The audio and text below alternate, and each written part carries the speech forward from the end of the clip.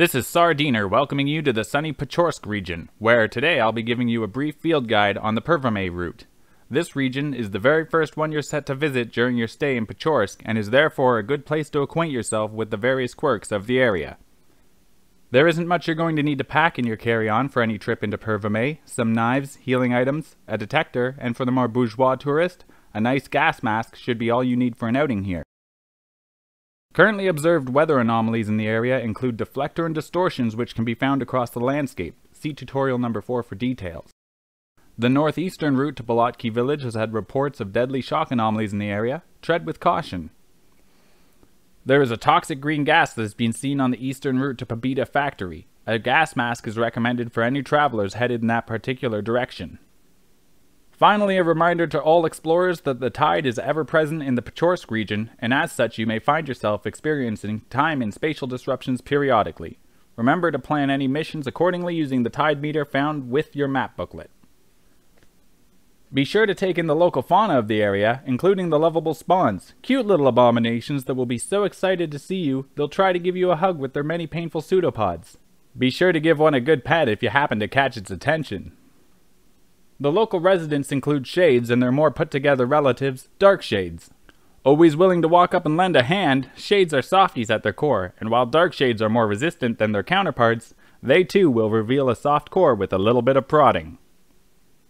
Be on the lookout for policeman mimics. These law enforcement agents are particularly diligent and have the express purpose of keeping tourists out of employee-only areas. Unfortunately, they've designated employee-only areas as anything within their line of sight, since they are armed with pistols, the Pechorsk Tourism Board would advise against engagement at this time and hereby takes no responsibility for any injuries incurred by the policeman mimics. For those of you on a leisurely visit, the following is a list of tourist attractions you might consider visiting. The Hunter's Blind, Pervomay Crater Field, Pervomay Transformer Way Station, Green Gas Crater, Power Station Anomaly Cluster, and many more.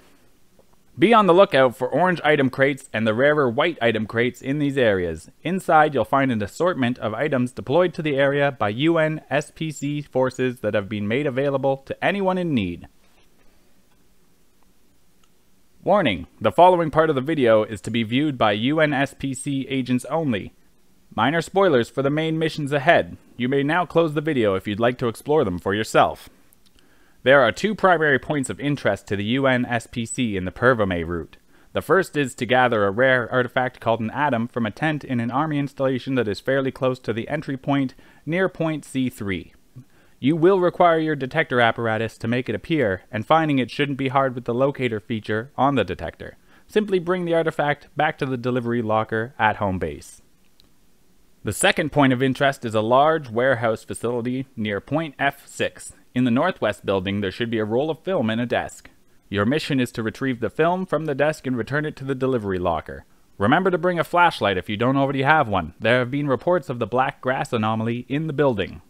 If you can do this simple task, you'll be rewarded with security clearance level 2.